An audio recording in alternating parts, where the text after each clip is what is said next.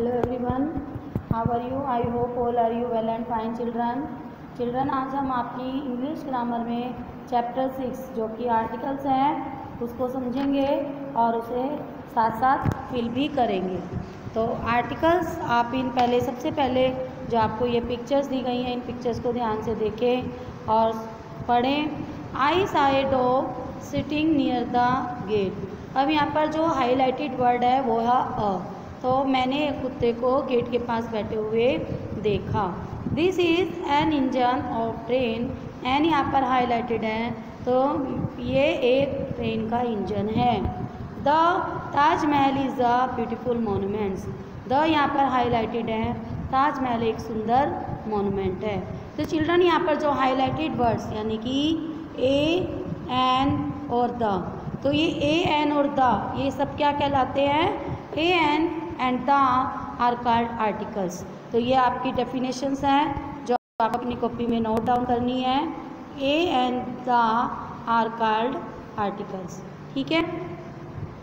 अब इसका यूज़ क्या होता है? यूज़ ऑफ़ ए एंड और an a and an are called indefinite articles because they don't point out they don't point out any particular person और things जो a और एन है चिल्ड्रन ये दोनों अनिश्चित आर्टिकल्स हैं, क्योंकि ये हमें डेफिनेट नहीं होता कि इसका यूज़ किसके साथ होना है। मतलब कहाँ पर किस एक ही चीज़ के साथ इसका यूज़ होना है, क्योंकि दोनों ही बच्चों ये सिंगुलर के साथ यूज़ किए जाते हैं। अब ए और एन दोनों ही सिंगुलर के साथ यूज़ किए जाते हैं तो हमें कैसे पता चलेगा कि हमें कहाँ पर ए का यूज़ करना है और कहाँ पर हमें एन का यूज़ करना है? तो चिल्ड्रन देखेंगे ए इज़ यूज़ ए का यूज़ कहाँ किया जाता है? Before a word beginning with a consonant यानी कि जो हमारे शब्द कंसनेंट से स्टार्ट होते हैं और वो सिंगुलर होते हैं, वहाँ पर हम एन का ए का यूज़ करते हैं। पर ये कंफर्म नहीं है कि सारे कंसनेंट से जो शुरू होंगे, वो सारे ही अगर सिंगुलर है तो सारे सबके साथ ही हम ए का यूज़ करेंगे। हम उसके साउंडिंग वर्ड्स पर भी जाएँगे। ठीक है?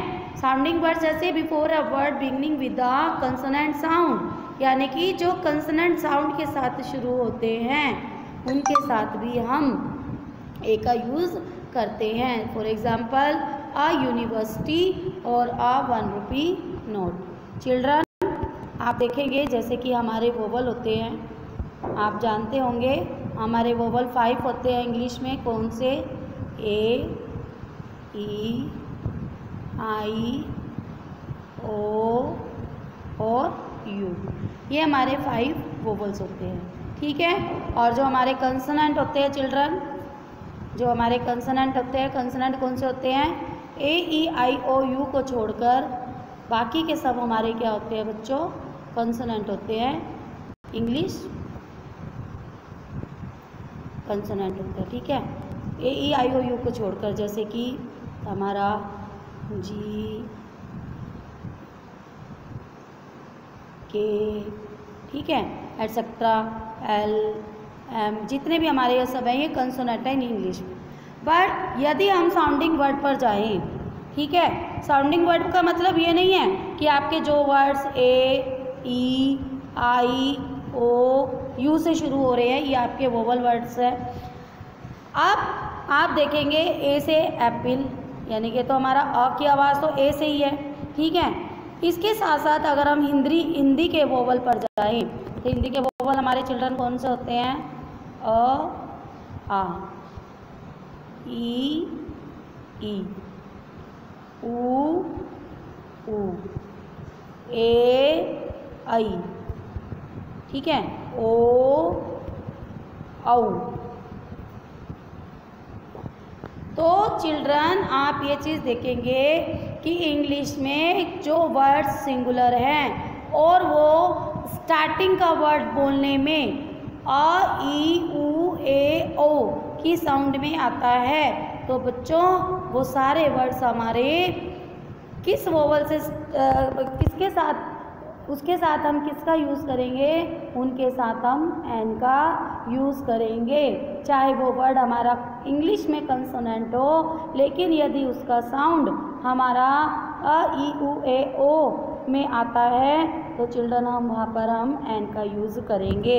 जैसे कि मैं आपको बताऊँ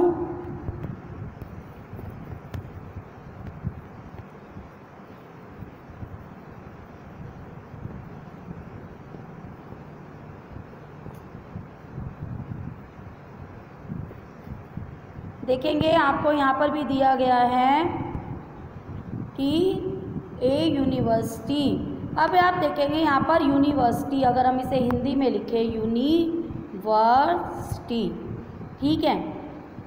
अगर हम इंग्लिश में देखें तो यू हमारा वोवल है। ठीक है? अगर हम हिंदी के साउंड अगर इसके साउंड वर्ड पर जाएँ तो यू यानी कि य बन रहा है। या कोई वोवल नहीं होता, अ, ई, उ, ओ, यू, ओ की आवाज़ आ रही है कोई? नहीं आ रही ना तो ये बच्चों हमारा कंसनेंट माना जाएगा। तो हम इसके साथ किसका यूज़ करेंगे बच्चों? ए का यूज़ करेंगे। इसलिए हम इस पर ध्यान नहीं देंगे कि ये यू से शुरू हो रहा है। हम उसके साउंड पर ध्यान देंगे। इसी तरह हमारा यहाँ पर वन रुपी नोट है तो वन वन बोलने पे व व आ रहा है वह हमारा क्या है चिल्ड्रन कंसोनेंट है। यू ऊ की आवाज़ नहीं आ रही यहाँ पर तो इसलिए यहाँ पर चिल्ड्रन हमने ए का यूज़ किया है। तो हमेशा ध्यान रखना है, हमें इनके साउंडिंग वर्ड पर जाना है। साउंडिंग वर्ड यदि हमारा अ आ इ ई उ, ओ होगा, तभी हमें उसमें एन का यूज़ करना है। सिंगुलर थिंग्स में अदरवाइज़ हमें अ का यूज़ करना है। And before a word beginning with a vowel यानी कि वोवल से स्टार्ट होता है वो शब्द, जैसे कि ice cream apple ox before a word beginning with a vowel sound vowel sound से यूज़ हो. देखो, अब आप यहाँ पर देखेंगे चिल्ड्रन यहाँ पर होना, आप अगर पढ़ें तो H O N E S T starting किससे है? एच से है. लेकिन बच्चों, जब हम इसको बोलते हैं तो एच बच्चों साइलेंट में चला जाता है और ये बोला जाता है ओनेस तो ओ की आवाज़ आई, इसलिए चिल्ड्रन हमने यहाँ पर इसमें एन का यूज़ किया है। आप इससे परेशान ना हो कि यहाँ पर तो एच लगा हुआ है तो एन का यूज़ क्यों हुआ? एच बच्चों यहाँ पर साइलेंट है। इसी तरह आपका N R R H O U R ठीक है? एच से शुरू ज़रूर है, लेकिन एच यहाँ पर साइलेंट होता है, बोला जाता है और एन और ठीक है? इसलिए यहाँ पर हमने एन का यूज़ किया है। आई होप आपको ए और एन का फ़र्क डिफरेंस जो है पता चला, चल गया होगा। अब हम चलते हैं द। द बच्चों, एक डेफिनेट आर्टिकल है, यानी कि हमें पता है, निश्चित एक आर्टिकल है, जो नेमिंग वर्ड्स यानी कि जो हमारे because it is use when we speak of some particular things और पर्सनस क्योंकि इसका यूज़ सम पर्टिकुलर थिंग्स और पर्सनस के साथ यूज़ किया जाता है। किस किस के साथ यूज़ करते हैं चिल्ड्रन हम? कोई माउंटेन रेंजेस होती है, यानी कि किसी माउंटेन्स की रेंज का नाम होता है, उनके साथ हम यूज़ करते हैं। The Everest, the the Himalaya etcetera ठीक है? फिर हम जो हमारे ओशियंस और सीज नेम होते हैं, उनके साथ हम यूज़ करते हैं। रिवर्स के नेम के साथ चिल्ड्रन यूज़ किया जाता है। जो हमारे फ़ेमस मोनूमेंट्स होते हैं, उनके साथ द का यूज़ करते हैं। Certain books and newspaper name होते हैं, उनके साथ हम यूज़ करते हैं। Things that only one of their kind यानी कि वो चीज़ें जिनके, जिन, जिनके जैसा कोई नहीं है। यानी कि वो सिर्फ़ एक ही चीज़ है, उनके, उसके जैसी कोई और चीज़ ना हो, वहाँ पर भी हम द का यूज़ करते हैं। गर्ल्स एंड बे यानी कि जैसे हमारे Persian Gulf the Persian Gulf आ गया हमारे द हर्सन बॉय हो गए, इनके साथ हम द का यूज़ करते हैं। यानी कि हमारे निश्चित होते हैं, निश्चित चीज़ों के साथ ही इनका यूज़ किया जाता है। आई होप आपको समझ में आया होगा। तो आपको कॉपी में चिल्ड्रन क्या क्या उतारना है?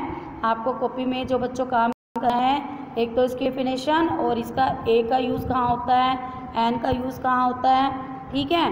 उसके बाद हमारा जो ये जो द है, द का यूज़ किन किन चीज़ों के साथ होता है? ये सारा हमें जो है, अभी में नोट डाउन करना है यहाँ से यहाँ तक। क्लियर अब हम चलते हैं बच्चों इसकी एक्सरसाइज की तरफ़। अब इसकी एक्सरसाइज क्या है बच्चों? फ़र्स्ट है हमारा insert articles wherever necessary and write the sentences यानी कि हमें आर्टिकल का यूज़ करना है जहाँ पे हमें नीड है और इस सेंटेंसेस को दोबारा लिखना है।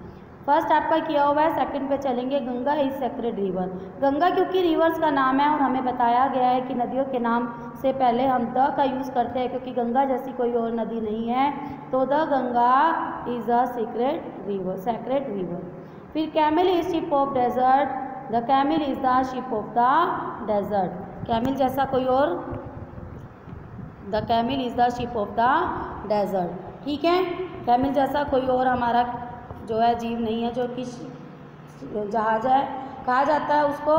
फिर हमारा है blue whale is the largest animal तो ठीक है तो ब्लू वेल हमारी कैसी है? The blue whale is the blue whale हमारी कैसी है? लार्जेस्ट एनिमल फिर हमारा आता है draw map of India draw the map of India क्योंकि इंडिया के मैप जैसा कोई और मैप नहीं है।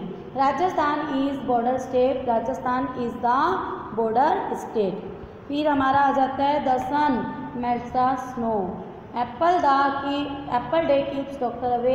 Apple apple A की आवाज़ आ रही है तो apple a day keeps a doctor away. इसी तरह हमें इसमें ए, एन और दा का यूज़ करना है, बच्चों।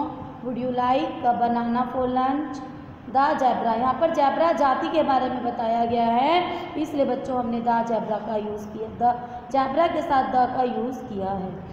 नेक्स्ट करेंगे dash Eskimo lives in dash igloo यहाँ पर भी आपको the Eskimo lives in the igloo यानी कि जाति के बारे में बताया गया है। The great wall of wall of China के बारे में बताया गया है। किरण बोट एंड अम्ब्रेला और की आवाज़ आ रही है from the supermarket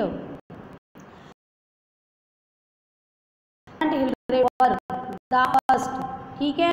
I borrowed book का बर्स से शुरू कंसनेंट है तो ओ इसी तरह Ishan was known to be dash honest man यहाँ पर आप देखेंगे एच से शुरू है, लेकिन इसकी साउंडिंग वर्ड ओ आ रही है तो हमने यहाँ पर एन का यूज़ किया।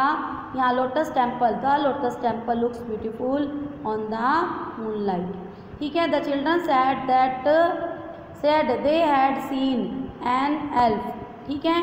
इस तरह बच्चों हमने ये आर्टिकल्स का इसमें यूज़ किया है। तो आपको बड़े ध्यान से इन एक्सरसाइज को करना है, पढ़ना है और ध्यान से समझते हुए इस एक्सरसाइज को फिल करना है। Thank you have nice